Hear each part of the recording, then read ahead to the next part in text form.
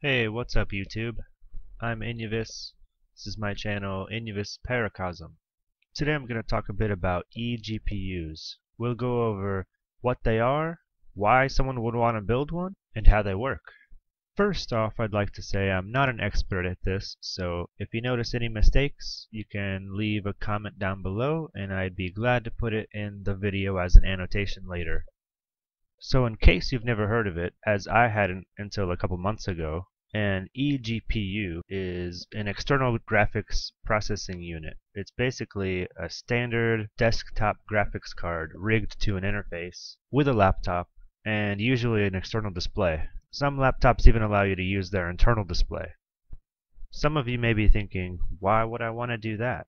I could build a much more powerful desktop machine than using a laptop to play games on. In my opinion, it comes down to lifestyle, really. I travel a lot. Uh, I don't really like owning a desktop because it's a big thing I can't take with me to the next place I go.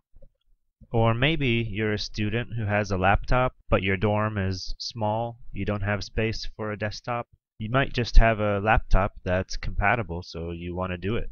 What do I need to make one of these things? Besides the compatible laptop, you're going to need a desktop graphics card of your choice.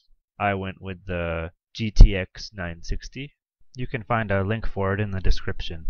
You'll need the PCIe adapter board that it plugs into. You'll need a power source for the card. And last but not least, an external display like an LCD TV.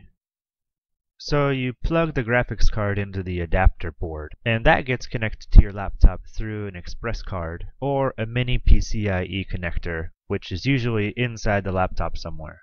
It's also possible to use a Thunderbolt port, and this is probably going to be the future of eGPUs.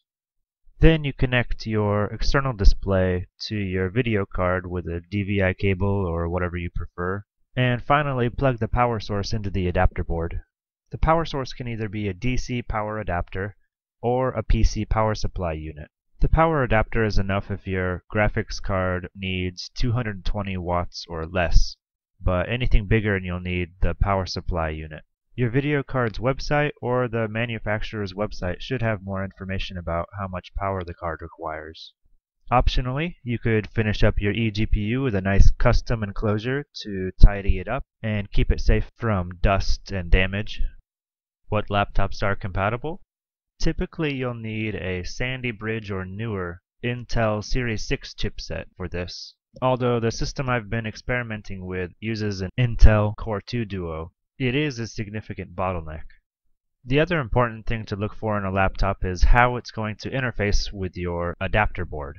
If you have an express card slot, then perfect. But a lot of newer laptops don't have one.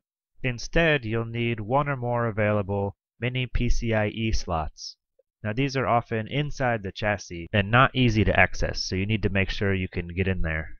One way to find one is to look for a WLAN card on the underside of the computer. If you're still not sure whether your laptop will work or not, there are forum threads on the internet where you can learn more. Just search for eGPU candidate systems. Definitely do your research before you buy a new laptop. Once you've got all the parts and you've got it assembled, some external GPUs are plug-and-play ready. You'll just need to install the drivers for your video card and off you go. Others require a bit more configuration and optimization. It's really a process of trial and error. There are some online communities that exist for support, namely TechInferno.com's forum.